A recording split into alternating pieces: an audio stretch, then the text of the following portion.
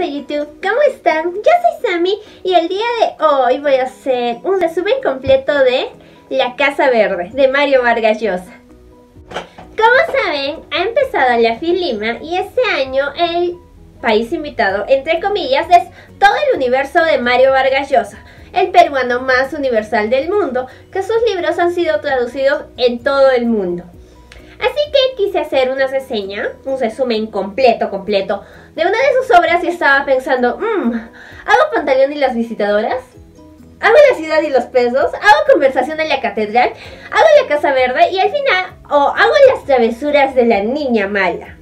Pero al final me decidí por La Casa Verde, que es una obra, una de sus primeras obras, de hecho es su segunda obra, y además no es una obra tan, tan conocida según yo, aunque sí es de contra conocida, así que hoy hablaremos de este librito, La Casa Verde.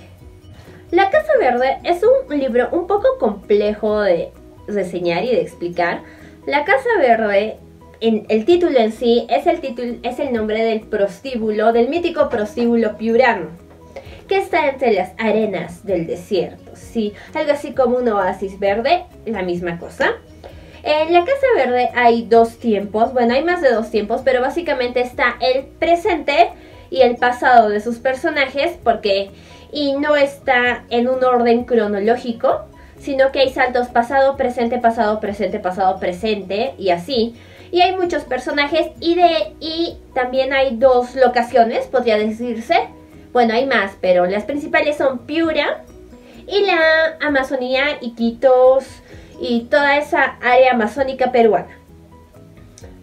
En la Casa Verde mm, em, empieza, el libro en sí empieza con las misioneras, que son madres misioneras que están en la selva tratando de evangelizar a los paganos, a los que son de tribus de chapras y todas las tribus que hay en la selva, empieza con ellas yendo a evangelizar, acompañadas por el sargento y acompañadas también por otros guardias para poder convencer a estos paganos que vayan a la misión, que lleven a sus hijas a la misión y estas puedan aprender a hablar cristiano, porque incluso esto estas personas de las tribus de las tribus selváticas no hablan español, o sea, no hablan cristiano como como dice en el libro. Y lo que las madrecitas quieren es enseñarles a rezar, enseñarles a leer y además como que son un poco salvajes porque van por la vida desnudos, aunque no los puedo culpar, en la selva hace un calor de... ¡Ay! ¡Qué calor que hace! Pero empieza así la escena yendo a esta misión. También en este contexto de la selva, entre estas tribus hay tráfico de caucho. Hay personas como Julio Reategui, el gobernador Fabián, Fushia, eh, Adrián Nieves, Aquilino, que se dedican al tráfico de caucho y al tráfico de pieles y demás. O sea, van con las tribus y hacen intercambios y luego trafican con esas cosas. Eh, también tenemos aquí en la selva a Lalita, que es un personaje que ella vivía en Belén, en un lugar llamado Belén, y cuando es muy joven, se enamora de Fushia, que se enamora de él y él está metido en todo esto del tráfico de pieles. En realidad no es su capital, sino es de Julio Reategui, que es el más más ahí. Y cae esta organización de tráfico. Y como Julio Reategui es tan importante, no lo van a capturar a él, sino que toda la responsabilidad va para Fushia y Fushia tiene que huir. Y Lalita, como es joven, ingenua y está enamorada, decide que quiere ir con él. Pero lo que sucede es que Fuxian eh, quiere escapar hacia el Ecuador, pese a que todos le dicen deberías escapar hacia, hacia Brasil. Pero él sospecha que todos están esperando que vaya hacia Brasil, así que él quiere dar la sorpresa y escapar hacia Ecuador. Entonces se da cuenta Fushia que Julio Zeatiegui siente mucho interés por Lelita porque Lelita es una joven muy hermosa, y en la selva eh, mayormente existe un una trata de blancas, pero estas son aguarunas, son de chapra, son de estas tribus. Entonces Lalita no es de tribu, es cristiana y eso le da un valor especial. Entonces Fushia le propone a Julio y ¿sabes qué? Te doy a mi mujer, te doy a Lalita si tú me das una mil solcitos, le dice. Y luego le dice, ya sabes que ella vale como diez mil, pero tengo prisa. Pero llegan a un acuerdo en que Fuchsia le va a dar a Lalita a cambio de que Julio Seategui le dio de una lancha y le dé comida para que él pueda llegar hasta el Ecuador. Entonces, quedan en que le va a dar a Lalita y el gobernador, Julio Seategui acepta. Pero cuando se están yendo, al final Fuchsia decide que no le va a dar a Lalita y se escapa con ella. Eh, se va en la lancha por el río porque tengan en cuenta que esta es la Amazonía peruana y no se puede ir por carretera. Es más fácil ir por el río. Así que todos los viajes que se realizan en este libro en la Amazonía es vía, vía río. Entonces se escapa con Lalita y se van supuestamente al Ecuador, pero no logran salir al Ecuador porque no tienen dinero. Entonces se van a una especie de islote eh, donde van a empezar a un negocio de tráfico ellos mismos, también de pieles y demás, con Aquilino que va a ser el que va a llevar las pieles. Pero Fuchsia se lleva a Lalita también a base de engaños porque le promete que cuando llegue a Ecuador se va a casar con ella y le va a ser su esposa. Y más o menos esto es lo que pasa en la selva, ¿no? Y mmm, yéndonos hacia Piura. En Piura, eh, como les expliqué, hay muchos saltos de tiempo, así que voy a intentar ir cronológicamente eh, del pasado hacia el presente. En Piura eh, llega un misterioso personaje a Piura, llega sin nada aparentemente, solo en su mula, un personaje que se hace llamar Anselmo y según él dice ser peruano. Pero los de Piura no están tan seguros que sea peruano y no identifican su dejo de qué parte del Perú es. Este personaje rápidamente se hace amigo de toda la sociedad piurana. Eh, siempre bebe tragos e invita tragos a la gente en la Estrella del Norte, que es el hotel top de Piura. Y empieza a hacerse muchos amigos y luego de un tiempo decide comprar un terreno en Piura, en Castilla, en Castilla si mal no recuerdo, pasando el puente viejo que es un arenal, o sea, Piura es una ciudad donde hay arenales y él decide comprar prácticamente un pedazo de desierto. Y todos los vecinos le dicen, Anselmo, usted está loco porque ¿cómo se va a ir a vivir ahí? Eh, ¿Por qué no comprará un terreno en la ciudad? Y así. Y lo que sucede es que él empieza a hacer construir una gran casa. Y todos están como que curiosos. Mm, ¿Por qué? Porque es una casa de dos pisos con un salón gigante y tiene como 8 o 7 habitaciones. Y todos están como que, mmm, qué extraño. Y luego va a la carpintería y hace y encarga que quiere un mostrador como el de la Estrella del Norte, encarga camas, encarga este cortinas, encarga un montón de cosas y todos, mmm, sospechoso, sospechoso. Y luego la hace pintar de verde. Y con eso todos como que, ah, ok, enloquecido, ¿por qué le hace pintar de verde? En fin, le hace pintar de verde y un día se va de viaje fuera de Piura y regresa con tres habitantes. Habitantas es el nombre que la población le empieza a dar a las prostitutas, a las mujeres que viven en la Casa Verde. Son las habitantes. Entonces eh, va, va y empieza a funcionar el prostíbulo. Eh, todos ante, ante la mirada indignada de las señoras piuranas y también ante la mirada indignada del padre García. Pero empieza a funcionar y de hecho mm, se hace un lugar muy concurrido. Al principio a los pasoquianos como que les da noche que los vean entrando, pero luego se sueltan las cesas y les da igual.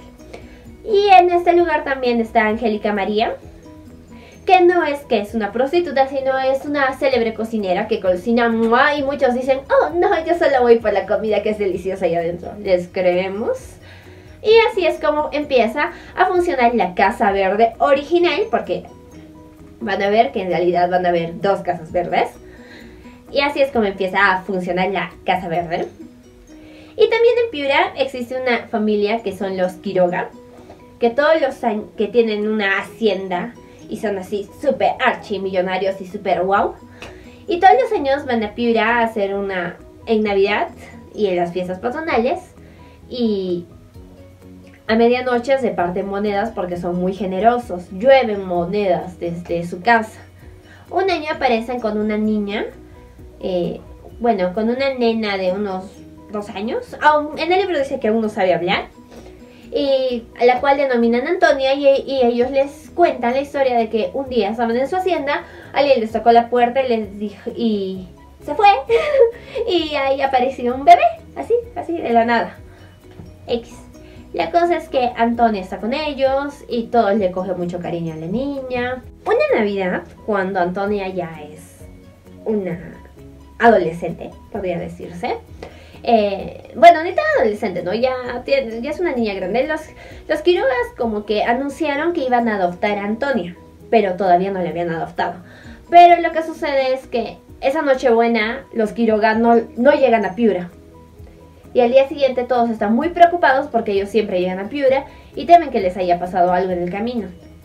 Y van, este, se organizan, un grupo de ciudadanos y van hacia el desierto, hacia, hacia la zona de la hacienda Quiroga y lo que descubren es que fueron asaltados brutalmente y los Quiroga están muertos. Y también sus sirvientes y encuentran a Antonia tirada y piensan que está muerta, porque los gallinazos ya le están picoteando los ojos. Pero no está muerta, está viva. Pero no, está ciega y tampoco puede hablar, porque los gallinazos le han picoteado los ojos, entonces ya no puede ver, y le han arrancado la lengua, entonces no puede hablar. Y lo que sucede es que como ella era adoptada, pero todavía, o sea, la tenían a ella, la iban a adoptar, pero todavía no la habían adoptado. Entonces no es una Quiroga de verdad. Y la hacienda Quiroga se las reparten los familiares de los Quiroga y Antonia la dejan, o sea, sin nada, porque, o sea, no es una Quiroga y nunca llegaron a adoptarla. Pero hay una señora llamada Juana que los Quiroga siempre le daban trabajitos cuando estaban en Piura, que se coge a la niña y la cría, decide criarla, ella es la bandera, y la cría y la lleva a la plaza, la deja ahí en el parque y todos en recuerdo a lo que fueron los Quiroga, le tienen mucho cariño, eh, las personas principales la invitan a comer a su casa, ah, la, llevan a pasear los caballeros a caballo y así. Y no olviden Antonia, es importante. Ahora vamos a hacer otro paréntesis y volvamos a la selva. En la selva, este, ya en un pasado no tan pasado, un poquito más presente, no sé cómo explicarlo, em, en la misión de las madrecitas, ¿se acuerdan las madrecitas que evangelizan a los chunchos? Eso sonó muy despectivo. Que evangelizan a las tribus selváticas. Este, en la misión se da que desaparecen las pupilas, que es como llaman a las, a las niñitas estas de las tribus. Y todos y las madres enloquecen y están muy preocupadas porque se dan cuenta que se escaparon, pero que alguien les abrió la puerta. Entonces, mm, van, están buscándolas y se dan cuenta que Bonifacia, que ya es una pupila mayor, mayor, o sea, no mayor, mayor ya, tiene unos 15, 16, no especifican edades en este libro. Las dejó escapar y las madres están molestas con Bonifacia porque las dejó escapar. Y Bonifacia trata de disculparse diciendo que estas pupilas extrañaban a su gente y ella solo quería que sean felices. Pero las madres están muy molestas con ella porque ella también fue pupila y ya como que ya cambió. Y la botan de la misión. Y Bonifacio no sabe dónde ir. Así que se va a la casa de Lalita y Nieves. Sí, ya sé que dejamos a Lalita con Fushia, pero tranquilos, ahorita retomo a Lalita. Se van a la casa de, Bonifacio se va a la casa de Lalita y el práctico Nieves. Ahora, retomando a Lalita para que se ubiquen qué es lo que pasó con esa mujer. Eh, Lalita está en este islote y Lalita poco a poco pasan los años y ya no es la mujer bellísima. Bueno, en mi mente sigue siendo bellísima. parece que Fuchsia tenía un problema o algo porque le empiezan a salir granos por toda la cara. Y además Fuchsia cuando pasa el tiempo empieza a pegarla, maltratarla Y encima Fuchsia empieza a meterse con mujeres de las tribus, o sea, va a las tribus, intercambia pieles, roba caucho a los lugareños y encima se roba chicas. Entonces está con ellas y le sacan cara eso a Lalita. Prácticamente tiene un arene ahí. Y Lalita está así. Hasta que un día eh, empieza a hablar con Adrián Nieves, que trabaja para Fuchsia, y se escapa. Y así es como Lalita se va con Adrián Nieves a esa parte de la selva.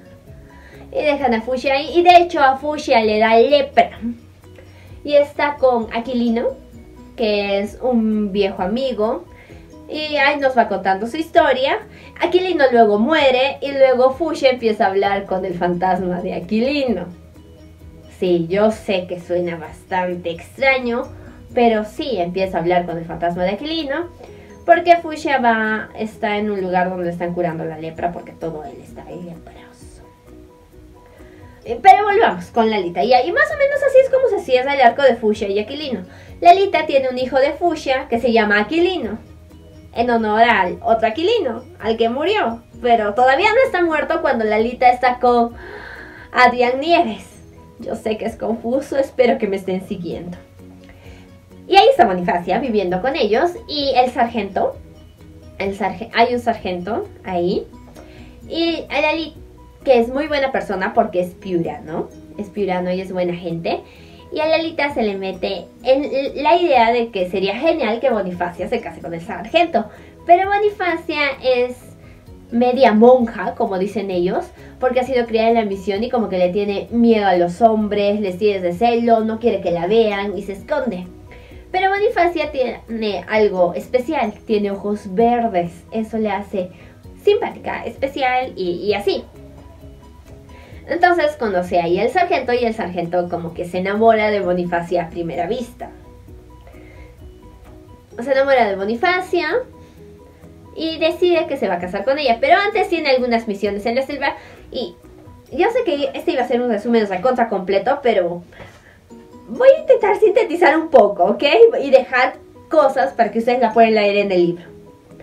Entonces, Aquilino sigue yendo hacia esta zona. Aquilino viejo, y hay, hay dos Aquilinos. Aquilino, el niño, el hijo de Lalita, y Aquilino, el viejo, el que está muerto.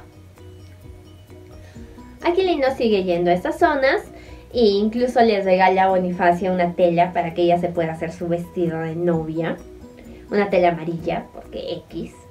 No me pregunto por qué. Y la cosa es que Bonifacia se casa con el sargento. ¿Ok? Ok. Ahora regresemos a Piura. Entonces, Anselmo, ¿se acuerdan de Anselmo? El dueño de la Casa Verde. Sí, sí, sigamos adelante entonces. Anselmo eh, conoce a Antonia, a Toñita, y como que esto, acá es donde empieza a ponerse perturbadora la cosa porque X.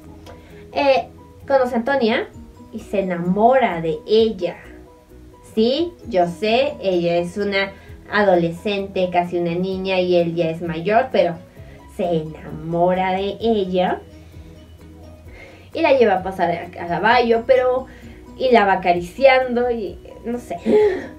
La cosa es que al final, no, como Antonia es muda y ciega, no sabría decir, obviamente es un abuso por parte de Anselmo porque ella no puede decirle que no, ella no lo ve, o sea, ella está indefensa, no puede gritar, no puede hacer nada. Entonces, un día, mm, Juana, Juana, la, la señora que cuida a Antonia, la deja como todos los días en el parque y se va a hacer sus labores. Y pasa la hora de la cena y nos regresa y dice, bueno, estará cenando con alguien. Y nos regresa, nos regresa y sale a buscarla y pregunta a todo el mundo y nadie sabe dónde está Antonia. Y ella está desesperada. Lo que luego nos enteramos es que Antonia muere. O sea, meses después, meses, ponte un año después, Antonia muere. Y donde la encuentran muerta en la Casa Verde. Y ahí se descubre que Anselmo se había llevado a Antonia y que estaba viviendo con ella en la Casa Verde. Y pese a que Anselmo, tenemos la perspectiva de, Anselmo en el libro, o sea, vive con ella, mantiene relaciones y todo con ella y todo el pueblo se indigna porque está muerta. Está muerta Antonia y todos están indignados, hacen una misa de entierro para Antonia y luego de la misa este, el, padre García y muchas señoras van hacia la Casa Verde con antorchas y le prenden fuego. Sí, fuego, tal cual. Le prenden fuego y se quema la Casa Verde y avisan a Anselmo que está en las chicherías porque está borracho, está muy triste porque se, se, murió, pues se murió. Se murió Antonio. Y él va desesperado y está buscando algo específico, pero ahí ve a Angélica Mercedes cargando un bebé. Y ahí se descubre que Antonia muere dando a luz a una bebé, que es la hija de Anselmo, a la que le van a poner el nombre de Chunga Chunguita. Entonces, este, todos empiezan a compadecerlo al ver su dolor.